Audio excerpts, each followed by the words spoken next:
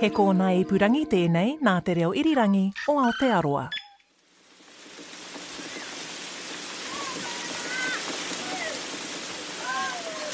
When I was a kid growing up in Hamilton, there was a fountain I used to like to play in.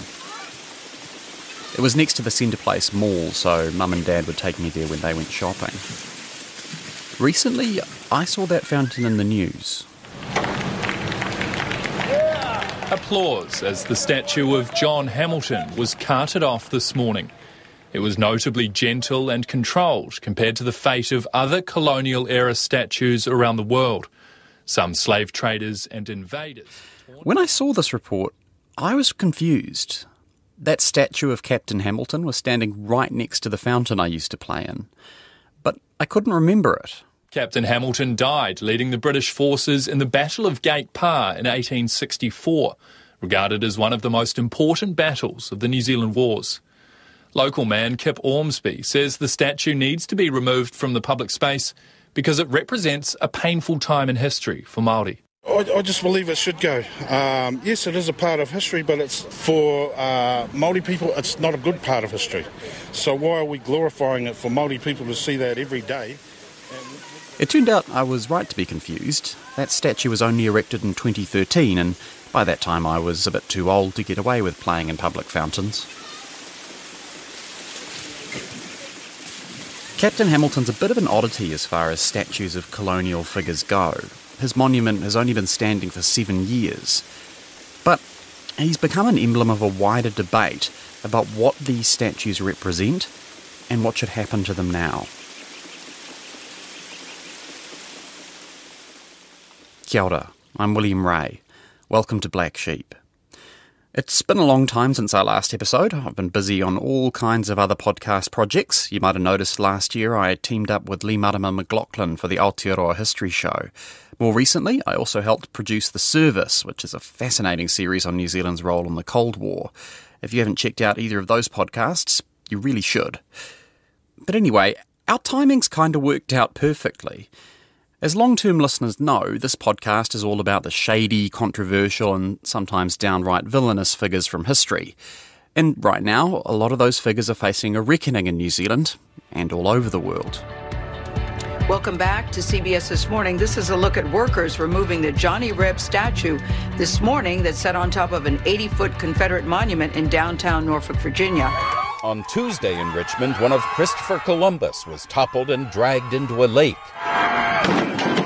Another Columbus statue met a similar fate in Minnesota. In Belgium, statues of Leopold II have been brought down. He was a king whose actions in modern day Democratic Republic of Congo are considered crimes against humanity. Two women have been charged over the vandalism of the Captain Cook statue in Hyde Park. One, an employee of the New Cast in bronze, now daubed with graffiti, one of Bristol's most famous sons. This had begun as a Black Lives Matter demonstration, but it ended in the historic docks where Colston's ships once sailed.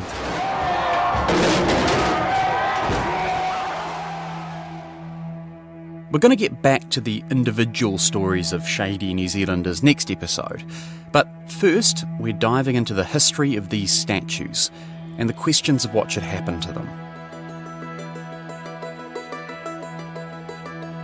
You can't talk about statues in New Zealand without talking to Jock Phillips, former chief historian for the Ministry of Culture and Heritage and author of the book New Zealand's War Memorials.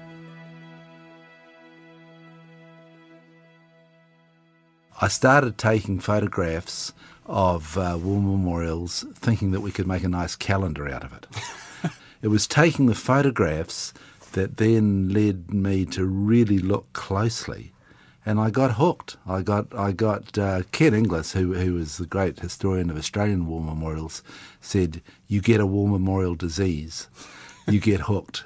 I've had a statue and war memorial disease now for 30 years, and my kids, uh, when I when I had young kids, they would sort of roll their eyes when I we came into a small town, and Dad would rush off to find the closest piece of phallic marble statue, uh, phallic marble piece of marble that he could find. New Zealand's first war memorial sits in the Moutoa Gardens in Whanganui.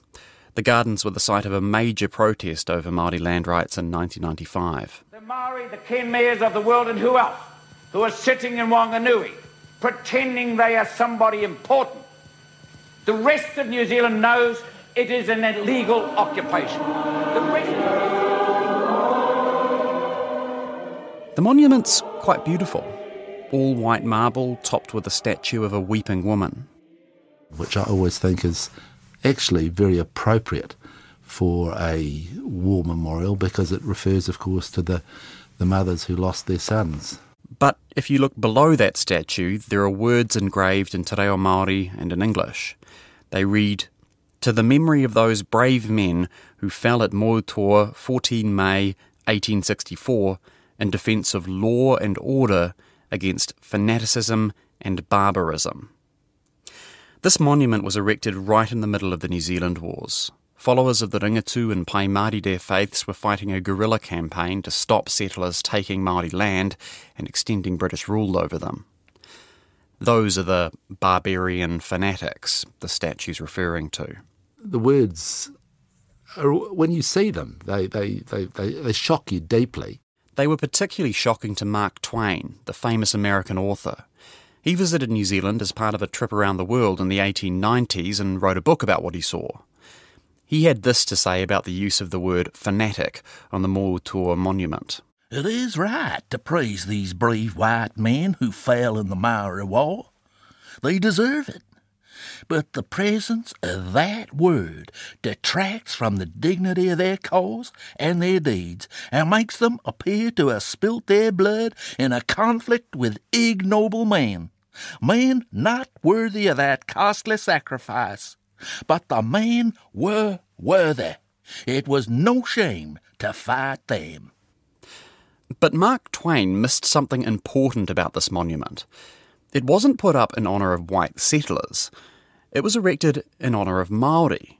That memorial was put up by the citizens of Wanganui, the, the European citizens of Wanganui, who were had been really terrified in 1864 um, when Pai Mārire upriver Māori were coming down the river, and there was a wide expectation that Wanganui was going to be attacked. And some of the Māori in the lower river, around Putiki, people who had been closely involved in the economy of Wanganui, volunteered to go and defend Wanganui. And there was a famous battle at Moutoa, which was a, an island in the middle of the Wanganui River. And basically, it was a bit like a sort of football match. They, they sort of drew a line down the middle of the island, and the upriver Māori and the lower river Māori took sides. And there was a fierce battle. I think it lasted about uh, uh, an hour and a half. And in the process, 14 of the lower river Māori were killed. So immediately after the battle, the uh, community got together and they decided to do two things. The women decided that they would um, sew a memorial flag, the Moutoa flag, and uh, they would give it to the local Putiki Māori. And they also decided that they would put up a memorial to the gallant Māori who had defended Wanganui. But the motive behind this memorial wasn't just sheer gratitude from the settlers. One of the politicians who argued in favour of the monument was William Featherston, Superintendent of the Wellington Provincial Council. The statue will act on the natives as the Victoria Cross on the British troops. It will, in fact, be to them a Victoria Cross. It will, I am convinced, stimulate the natives who are about to accompany the gallant forces, imperial and colonial, under General Chute on an expedition against the treacherous, plundering, murdering tribes on the west coast to still greater deeds of valour. And if you read the speeches at the at the unveiling, um, they're they're particularly addressed to Māori from other areas who have been called upon to fight Te Kooti and Titokowaru to recognise that you know Pākehā appreciate their services. So it was a piece of propaganda. It was designed to shore up, you know, the, the, the, the loyal Maori, the kupapa Maori at the time. Because the wars were still going on at the yeah, time. there was still there was still was was uh, at that time. Um, you know, was coming down the, the, the, west coast, and on the far east coast, you know, Te Kooti was was, was remained a, a, major threat. So yeah, absolutely, the wars were still on, and ma- much of the wars were being fought by Maori loyal to the crown. Now, we should say Mark Twain didn't get it totally wrong when he was talking about the Moutoa monument. He actually misremembered and thought there were two monuments one to white settlers who died in the New Zealand Wars, and another to Maori who fought alongside them. In reality, only the second monument actually exists, but Twain thought this monument to Kupapa Māori was even more problematic. It is an object lesson to the rising generation. It invites treachery, disloyalty, unpatriotism. Its lesson, in frank terms, is desert your flag, slay your people, burn their homes, shame your nationality. We honour such. He went on to say the statue could only be remedied with dynamite. Of course, Mark Twain was coming at this as a complete outsider. He doesn't seem to have asked any local Maori how they felt. Chris Shenton is a descendant of some of the Māori honoured by this monument. He spoke to RNZ's Justin Gregory about it in 2011. I'm a uh, descendant of the local iwi in Whanganui, um, Te Atihaunui a Paparangi. I'm also a descendant of uh, Me Te Kingi Tarangi Paitai, who was involved in the Battle of Moutoa, and uh, also uh, a direct descendant of um, Heremia Tarangi Takaku, who's on the, named on the monument itself as he was killed in the Battle of Moutoa. I kind of ignore the fanaticism and barbarism and look at it and just sense that, you know, that was the context of the times. I, I know I have been told by an uncle who's passed on now that um, he understood that he, and he was told by our, you know, grandparents, grandfather and further back that there was some reluctance by our family to to participate in the monument when it was opened and things like that. Um, that's just oral history within our family. I don't know if it was if it's entirely correct, but you know, um, and I, that could be partially to do with the language and that the other uh, deceased were not commemorated on the monument. After the New Zealand Wars ended, there were several other monuments and statues erected in honour of Kupapa Māori, Māori who fought for the government. For example, the Moutoa Gardens is also home to a large statue of Te Keepa Te Rangihiwinui, also known as Major Kemp, one of the most famous Kupapa leaders. Tom Roa is a member of Ngāti Maniapoto and an associate professor of Māori studies at Waikato University. His ancestors fought against the colonial forces and their Māori allies in the Waikato Wars, but he doesn't want to see monuments to Kupapa torn down. The Māori word for enemy is hoa riri, and hoa means friend. Riri means angry, so he, he's my angry friend at this time. But that doesn't mean that in the future or in the past uh, we weren't friends. We can be friends in the future. That that kind of a um, philosophy, perhaps, is part of the allowing the statues of Kupapa Māori to stand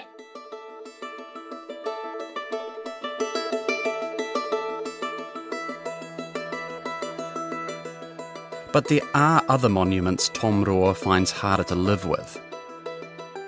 One stands in the Auckland suburb of Otahuhu. It honours Colonel Marmaduke Nixon, who led the Colonial Defence Force cavalry during the Waikato War. It was erected in 1865, shortly after his death. Jock Phillips says Nixon was singled out for a memorial mostly for political reasons during the New Zealand Wars, much of the fighting was done by British soldiers, and uh, Nixon was one of those local heroes, you know, someone who helped organise the local militia. And I think that was the sort of motivation. Let's have a let's have a local boy here represented. Um, you know, it's it is highly questionable because um, you know Nixon was pretty heavily responsible for um, some pretty atrocious acts at Rangiaowhia um, in the Waikato. Uh, you know, a place that this general agreement had been decided to be set aside and wouldn't be attacked. It would be it was largely a refuge for women and, and old people and children, and um, it was it was regarded as being a place where uh, you know crops were grown and a place of peace. Colonel Nixon led the attack of Rangiaowhia.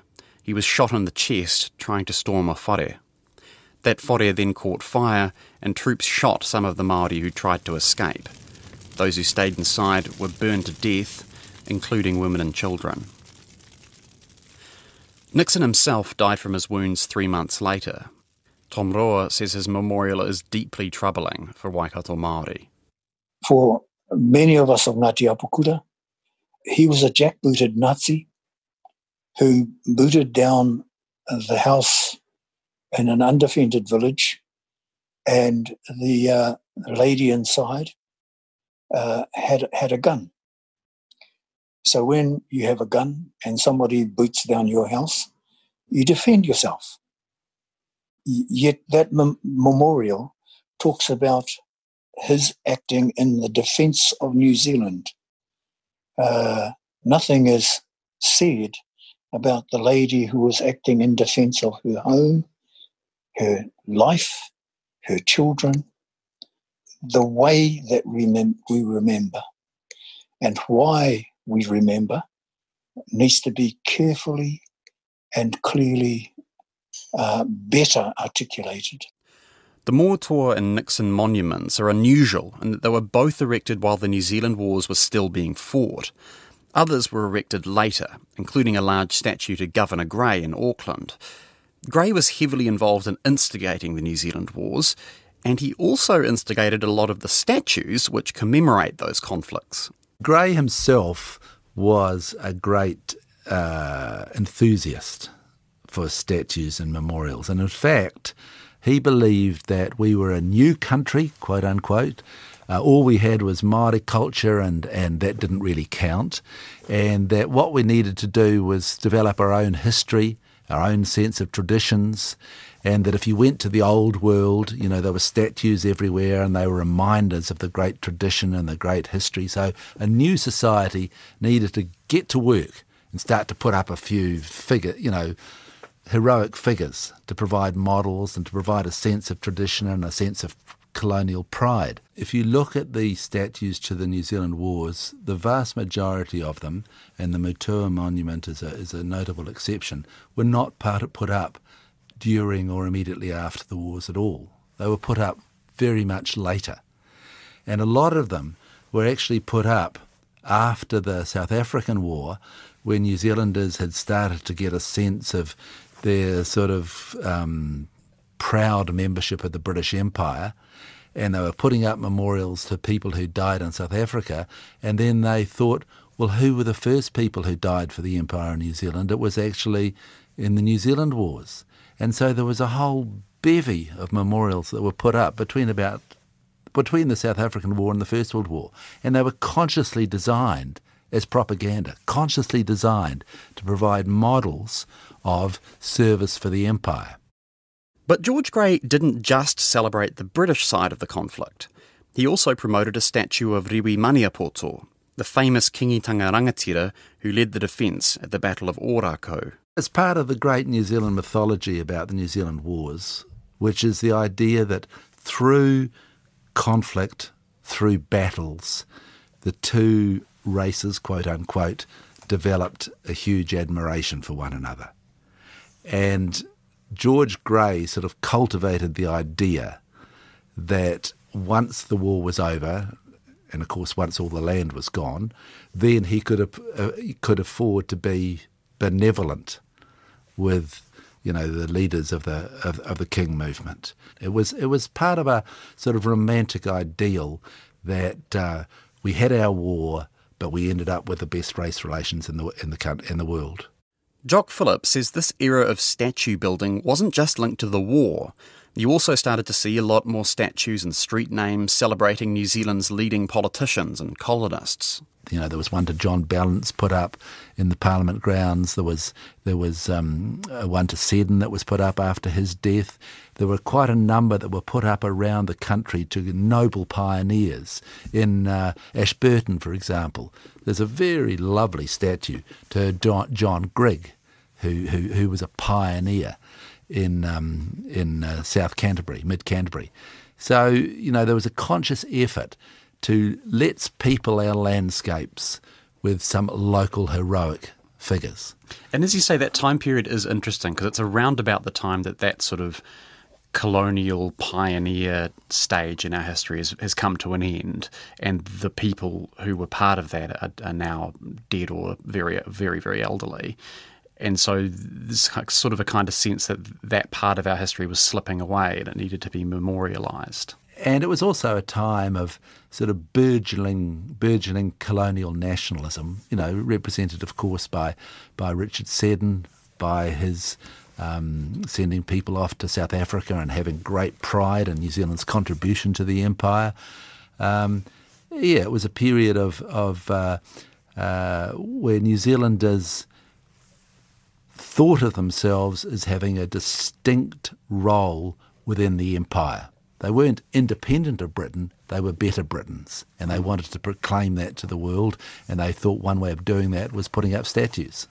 Of course, one problem was these statues reinforced a mythology that colonisation was a good thing in New Zealand, and even a good thing for Maori.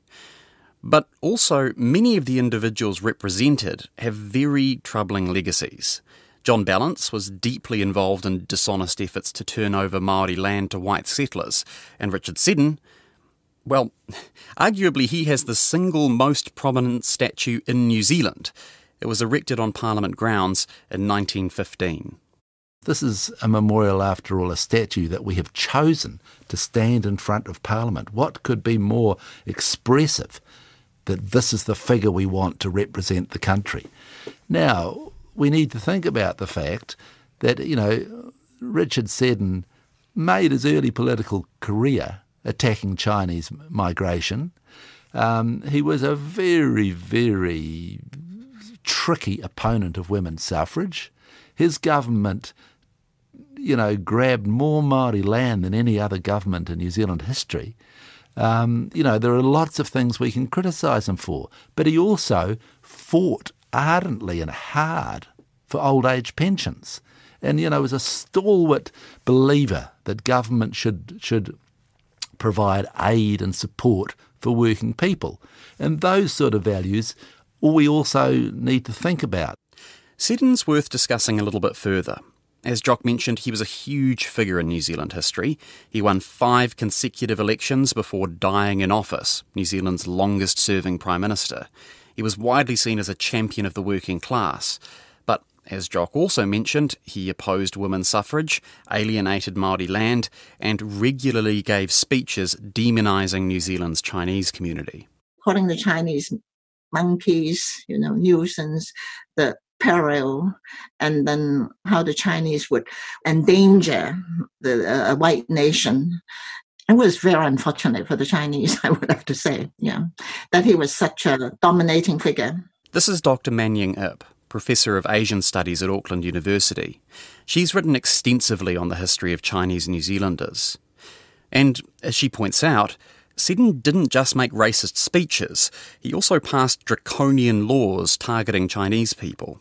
The most detrimental thing for the Chinese was the 1896 Chinese Immigration Act, which raised the tax to 100 pounds. So every Chinese who entered the country need to pay 100 pounds, a phenomenal sum at that time, which means that the Chinese have to take out debts and so on before they came and, and he also attempted to pass the Asiatic Restriction Act. It did not become law only because London refused to give us royal assent. All right, and the, the, the Restriction Act is to abolish all Chinese naturalization. That is, no Chinese could become a citizen. That bill to block Chinese naturalisation did actually end up becoming law after Seddon's death in 1908. It wasn't taken off the books until after the Second World War. But Seddon wasn't just looking to stop new migrants. He He also made life difficult for Chinese people already in New Zealand. The OH Pension Act of 1898, which Seddon you know, passed and which made him the champion of the working men, also excluded the Chinese naturalized or local born from this act. All right. So you know why why we all clapped and be very proud that that that Seddon was the champion of the working men. It was working men who were um, not Chinese. So yeah, Richard Seddon did a lot of good for working New Zealanders, but he also did a lot of harm. And the heroic statue of him in front of Parliament only paints part of that story.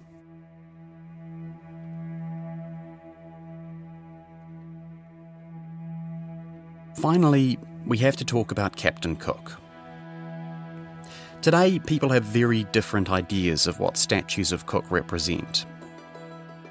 On the more positive side, people talk about his spectacular achievements of navigation, seamanship, and cartography, his leadership and bravery, and, according to some historians, his enlightened attitudes towards indigenous people, at least by the standards of his time.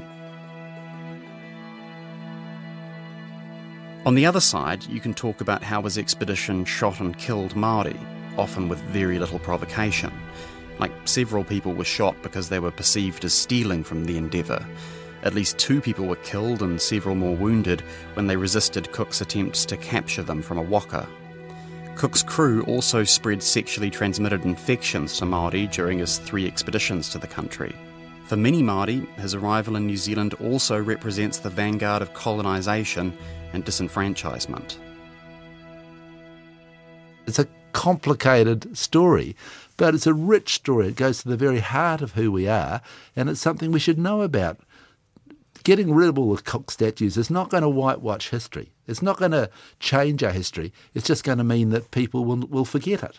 I mean, I want to argue the other side here for for a second, which is that statues of Cook are always presenting him as a as a very heroic figure. You know, they don't discuss the how many people were shot for you know stealing or that were shot because they were trying to row in the other direction when he wanted to capture a few of them and they don't discuss, you know, the fact that his crew introduced venereal disease. Absolutely. There's no room for these things in, in these statues.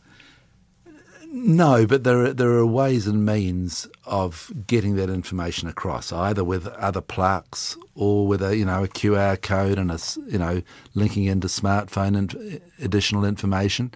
There are ways and means of putting it into context. It seems to me, and also there are ways of putting up alternative parallel. I mean, there should be a memorial to Tupaia, for example. You know, the great Tahitian navigator who, who for local Maori was really the, the leader of the of the of, of the endeavour rather than Cook. So, you know, I want to enrich the history rather than destroy it. That's that's really my argument. Tessa Duder wrote about Cook's first voyage to Aotearoa in her book, First Map How James Cook Charted Aotearoa, New Zealand. It'd be fair to say she's sympathetic towards Cook as an individual, but she still thinks the statues of him in public places are inappropriate. Those statues were done at a time when Europeans, particularly, were busy putting up statues of all their supposedly eminent explorers and discoverers and, and uh, politicians, and they always showed them in a heroic stance. And actually, I would I would agree that the there is no place for the heroic image of Cook in the public domain, except, as I say, in a museum where it can be put in perspective. I feel I know Cook quite well because I read all his journals and lots of the books that are written about him. I've, I feel I, I know him quite well, and I cringe when I see those heroic statues, and I think he would cringe as well. He was somebody who was, by all accounts, extremely modest, um, horrified that these killings happened on the first voyage. So I I, I would agree that the um, the heroic pose is completely out of out of sync with our times. But I think just to sort of throw them in the river, as they want to do with some of them in England, um, doesn't actually address what is the basic problem. And Tessa Duder agrees that memorials to the Endeavour's first voyage need much more recognition of Tupaia. Tupaia's contribution to that first voyage was absolutely undeniable. And Cook was extremely lucky to have somebody on board who could be both mediator and, and interpreter. When Cook returned to England with that astonishing map that he created of New Zealand, I think that we should give Tupaia huge credit for the fact that that, was, that map was created. Tina Ngata is a member of Ngati Porou and was heavily involved in protests against the Tuia 250 events in 2019, which celebrated the 250th anniversary of Cook's arrival in Aotearoa. She believes monuments to Cook and to other colonial figures should simply be removed. You know, it would be unconscionable for people to suggest that we should learn a lesson about what happened in Christchurch by um, last year by putting up a, a statue of the perpetrator. That's the same logic that's being applied when people say, but if you take it, if you don't have a statue to it, then how are we going to learn? You know, or we should have it up just because we should have a statue because it was momentous for good and for bad. And I've heard that said so many times. People go, well, for better or for worse, it was a momentous time that shaped our nation. And that's the kind of logic that you could apply across many places, including um, the, the circumstance that I just that I just provided there, but it, it, doesn't wash because the pain is so real and recent and raw that you're able to appreciate how offensive that is. I asked Tina Ngata if she thought these statues could be fixed by adding explanatory plaques or QR codes, or by erecting more statues which honour Maori, women and ethnic minorities. You know, there, there's what you say under a statue and there's what a statue says and regardless of of what the content is in a plaque that may or may not be read certainly cannot be read from the same distance that a statue is seen. You know we understand I think generally that having a statue up to a particular historical figure that's an honor. It's, it's an honor to be memorialized in your town. And uh, it's still a part of a visual landscape ethnic cleansing um, or, or cleansing people off a landscape happens across multiple dimensions and multiple spaces. And one of the ways in which that happens and has always happened is that they mo- remove all visual references to a culture from a landscape, and that's cultural cleansing. We've had that happen here in Aotearoa where visual references to Māori have been removed and replaced with colonial references. And I don't think, you know, having some different writing on a plaque or a, particularly if it's a Q code, because who's going to pick that up, is going to um, is going to account for that. And as far as putting them in a museum goes, a museum to racists or whatever, I mean, that would be, you, you could imagine that would become a mecca for white supremacists to go there and see their heroes but also I would find that a deeply disturbing and and depressing place to go to. Yeah. Hey, I want to throw one last potential solution in inverted commas to the statues at you. This is actually my um, one, one of my own inventions. No one else has suggested this. If we are going to leave these statues up, it should maybe be okay to leave the graffiti on them too and not have that washed up because after all, you know, they're public property and they're therefore should be vehicles for public process uh, protests. Is that a potential legitimate idea? I think that the graffiti represents a much more bicultural conversation than than not having the graffiti there. But why do we graffiti them? We don't graffiti them because we want them to remain. We graffiti them because we want them brought down. We, we graffiti them because they are offensive.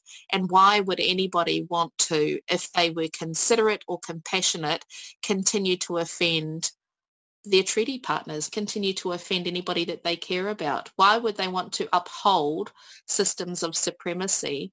And that's what it is. It's a, it's a, this is, you know, this whole interview, nearly everything that we've covered has been, but what if, but what if, but what if? There's this, there's this core resistance to the act of pulling them down. And that in itself is, you know, that's a, a application of white supremacy because it's, it's using a, a default power system that put them there in the first place and um, and that favours keeping them up rather than favouring the whole discussion about pulling them down. Tom Roa does support removing some statues, particularly the statue of Captain Hamilton. He's one of a group of people in discussions with the Auckland City Council about the future of the Nixon Memorial, too. But he agrees with Jock Phillips that others can be dealt with by adding context through explanatory plaques and QR codes. He's also a fan of putting up more statues to figures who aren't as well recognised. He's currently trying to erect a new one in Hamilton. I, I'm involved with a request to the Hamilton City Council uh, for a memorialising of Dame Hilda Ross, who was um, the first deputy mayor of the city of Hamilton, whose work as a nurse and as a as a supporter of the Maori Women's Welfare League uh, in its early days, and then as a, a woman parliamentarian in, in Parliament. We feel that she's somebody who is worth memorialising. And so we've uh, commissioned a statue for her. And Professor Roa isn't even opposed to erecting more statues of colonial villains, in the right context, of course. The BNZ was considering having a bust of uh, Whitaker and Russell, the founders of the BNZ. And we know that their history is mixed also in, in terms of the role that they played in convincing Grey that an invasion of the Waikato was a good thing to do. I, I made this comment in, in one meeting. Yeah, we should do that, and but we should have a pond, and then uh, above uh, Whitaker and Russell, we might have a, a statue of a little Maori boy and then people can go past the, the busts, put a dollar in a slot, and the little boy can do his business on, on their heads, on their busts.